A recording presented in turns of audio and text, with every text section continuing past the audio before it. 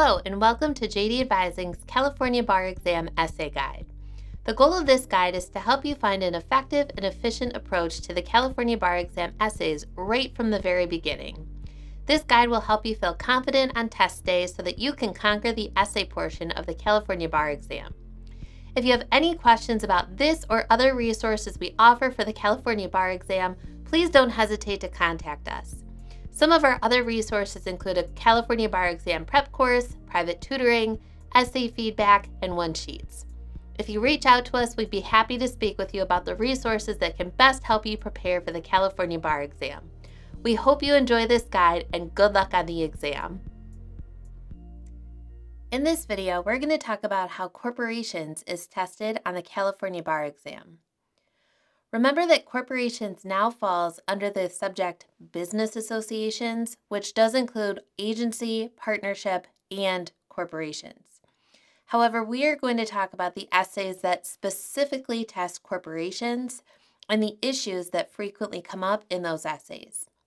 Business associations is tested somewhat regularly, but has not been tested as often in recent years as it was tested prior to 2017. That doesn't mean that it won't be tested. It just means that it is, a, it is a slightly less predictable subject in terms of when it will be tested on the California bar exam. Corporations is only tested on the essay portion of the bar exam, so you won't see this subject on the multiple choice portion of the exam. When this is tested, the examiners have always tested general law rather than California law, so there aren't really any distinctions to be aware of here. We have seen corporations tested as a crossover question with other subjects such as agency and partnership, like I mentioned before, and also professional responsibility. But the recent corporations questions have tested corporations as a standalone subject, so be aware of how it could be tested those different ways. Some of the highly tested issues on corporations essays include the duties owed by directors of a corporation, such as the duty of care and the duty of loyalty, and also the doctrine of piercing the corporate veil. Let's start by discussing the duty of care. Directors owe the corporation a duty of care when they act for or on behalf of the corporation. However, directors get the benefit of the doubt when they are acting for the corporation, and this is where the business judgment rule comes in.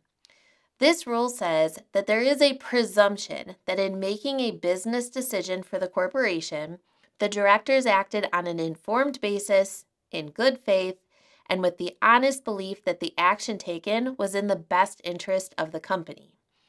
That means that the person who is challenging the director's conduct has the burden of overcoming this presumption. So that plaintiff must prove that the director did not act on an informed basis, did not act in good faith, or did not act in the best interest of the company. So, for example, if the directors enter into a really expensive long term contract without doing much research, the directors probably did not act on an informed basis. So, if one of the shareholders of the corporation wants to sue the directors, arguing that they breached their duty of care, that shareholder has the burden of proving that the directors did not have sufficient information about the long term contract before they made their decision to enter into it. Directors also owe the corporation a duty of loyalty. This is another highly tested issue. In fact, it is often a good idea to talk about both duties whenever director conduct is an issue on your exam. Unlike the duty of care, the business judgment rule does not apply to the duty of loyalty. Many students make the mistake of applying that presumption that we talked about under the business judgment rule to duty of loyalty issues but it simply does not apply here. Directors breach the duty of loyalty when they engage of, in one of the following types of conduct.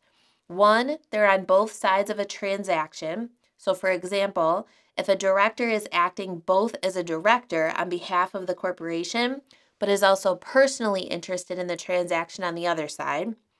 Two, they compete with the corporation. Or three, a director usurps a corporate opportunity.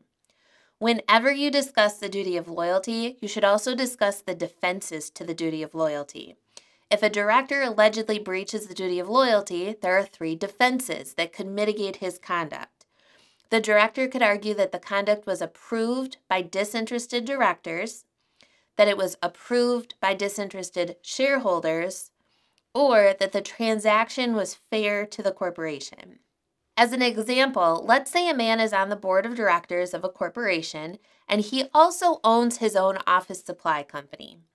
The corporation is trying to decide whether to enter into a long term contract with this office supply company for office supplies. The man is considered an interested party because he is acting as a director on one side of the transaction and he also stands to make a profit as the owner of that office supply company on the other side of the transaction. So, if he votes on this as a director, he automatically breaches his duty of loyalty since he's on both sides of the transaction. However, if it turns out that he gave the corporation a really great deal on the office supplies so that the transaction is actually fair to the corporation, then he can raise this as a defense against any claim that he breached his duty of loyalty. The other topic that is commonly tested in corporations' essays is the doctrine of piercing the corporate veil. Now, generally, the law treats a corporation as a separate entity from the shareholders for purposes of liability. So, if someone sues a corporation, that plaintiff can only go after the corporation's assets the plaintiff cannot usually get to the personal assets of the individual shareholders. However, there are limited circumstances in which the court might allow the plaintiff to pierce the corporate veil. Basically, the, the plaintiff is piercing that shield of liability and getting to the shareholders, and then the plaintiff can go after the shareholders' personal assets. The situations in which a plaintiff can pierce the corporate veil include if the corporation is undercapitalized, so the corporation doesn't have any assets to pay in the event that it is sued. Under an alter ego theory, this is where the plaintiff argues that the corporation is just an alter ego of the shareholders, and the shareholders are failing to treat the corporation as a separate entity, or if the corporation has been used to commit a fraud. I have a bar exam tip for you here. If you see this issue tested, if they test piercing the corporate veil, you should discuss all three of those theories undercapitalization, alter ego, and fraud, even if it seems fairly clear that only one of them applies to the facts. Now, if you're thinking that this doctrine seems scary and maybe even unfair to someone who owns, let's say, one share of stock of a large publicly traded company, don't worry, the court will only pierce the corporate veil of closely held, non publicly traded companies so that person who owns one share of stock of a large company won't be held liable. Finally, I want to make a quick note about officers of a corporation. Officers run the day to day business. The officers do owe duties to the corporation just like directors, but often scenarios involving officers on the exam invoke the question of whether an officer acted with authority. Officers generally have authority to bind the corporation. The nature of their position gives rise to apparent authority. We discuss authority in the agency and partnership section of this guide. So if you see a scenario involving officers and you're asked whether their conduct binds the corporation, be sure to consider agency law. There are several tips in the guide regarding the ways you should approach highly tested topics. I already mentioned these, but I will reiterate them here given that they will help you get the most points possible on a corporation's essay. First, when you discuss the duty of loyalty, be sure to discuss those three defenses to the duty of loyalty.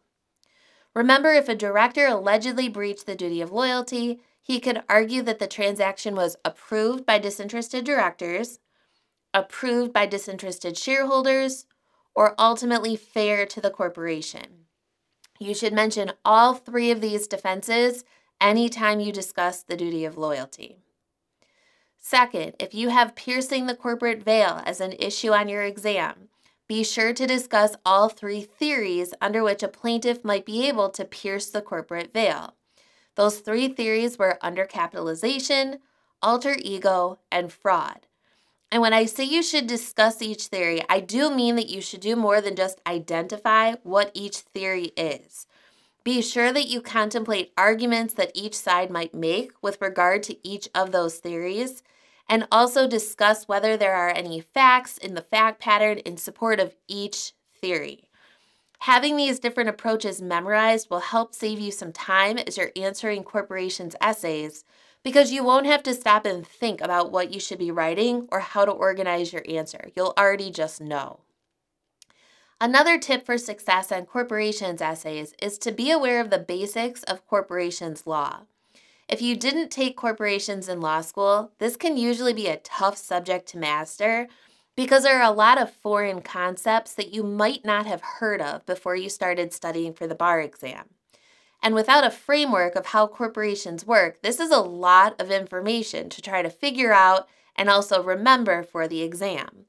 So let's go over a couple general principles about corporations to help provide some framework for all of these different rules that we're talking about. There are three main players involved in a corporation directors, shareholders, and officers. The director's job is to manage the corporation. They make the big picture decisions. So, for example, if the corporation is contemplating entering into a long term, very expensive contract, the directors should decide whether the corporation should enter into that contract. Directors meet regularly and they vote on these types of decisions. They need to appear for each meeting, so they cannot vote by proxy or by voting agreement. Next, we have shareholders. These are the owners of the corporation. Think of them as like investors. One of the main decisions that shareholders get to make is that they get to select the directors. So, shareholders don't meet as often as directors. They're entitled to one meeting a year where they get an update on how the corporation is doing and also at this meeting is where they vote on who the directors are. Shareholders are allowed to vote by proxy or by voting agreement, so they don't have to appear in person for their meetings. The third role is an officer. As I mentioned before, officers manage the day to day transactions for the corporation. These include people like the president, the secretary, the treasurer, and things like that. I want to give you an example to illustrate the difference between directors and officers. So let's say a corporation is contemplating entering into a 10 year contract with an office supply company for the office supplier to exclusively provide office supplies for this corporation for all those 10 years. This is a big decision for the corporation, so that's a contract that the directors should likely contemplate and vote on. On the other hand, let's say that the corporation has run out of pens and someone needs to run to the store right now and buy some pens so that everyone can carry on their day to day tasks. An officer can make the decision to run to the store and buy some pens because that has to do with the day to day management of the corporation. Not to make things more confusing, but a lot of times in smaller corporations, you might have one person who holds multiple of these positions. For example, if I start my own corporation to, let's say, sell cupcakes, I could be the sole shareholder and an officer and on the board of directors. If you see a fact pattern like this where one person has multiple roles, ask yourself which hat they have on at the time of the question conduct. Was that person acting as a director, an officer, or a shareholder during the time of whatever conduct is being called into question? This is going to help you focus on exactly which rules to apply to this fact pattern. There is also some vocabulary that you will come across while you're studying for corporations that may be new to you if you're not familiar with corporations law. So, articles of incorporation are the documents that the corporation files with the state that brings the corporation into existence. The articles of incorporation are essentially a contract with the state where the corporation promises to do certain things, and in exchange, the shareholders of the corporation get limited liability, which means that they will not be held personally liable for the corporation's obligations. That is, unless the court pierces the corporate veil, like we talked about before. Next is a dividend. This is a portion of the corporation's profits that is shared with the shareholders. Not all corporations pay dividends, but lots of shareholders buy shares for the purpose of receiving a portion of profits, or in other words, a dividend. Next is subscription. This is an offer from an investor who wants to buy shares of the corporation's stock. If the corporation accepts the offer and sells that investor the stock, then that investor becomes a shareholder. Next, we have a promoter. This is a person who promotes the corporation before it comes into existence.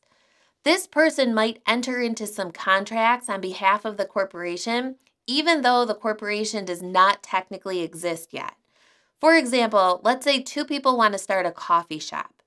Before the articles of incorporation are filed, one of those founders of this company goes out and signs a lease for some space that they're going to hold their coffee shop in, and they sign on behalf of the to be formed corporation.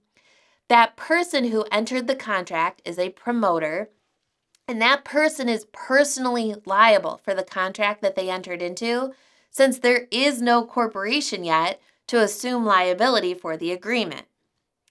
Next, we have the term ratify. This is a fancy word for approval. Usually, we're talking about approving the acts of the someone else, specifically when the board of directors ratifies or approves conduct that the promoter took on behalf of the to be formed corporation before the corporation existed. If the directors ratify the promoter's conduct, the corporation generally assumes liability for the obligation, but that promoter may still remain liable. Finally, we have quorum. This basically means majority. This comes up when the directors or the shareholders are meeting and voting on something. In order to have a proper meeting of the board of directors, a quorum or a majority of the members of the board have to be present. So, for example, if there are seven members of the board of directors, four of them must be present in order for the board to have a proper meeting. Finally, like all the other subjects, it is important that you practice corporations essays to prepare for the exam. We recommend that you start by reviewing the corporations essays from October 2020, February 2017, and July 2015.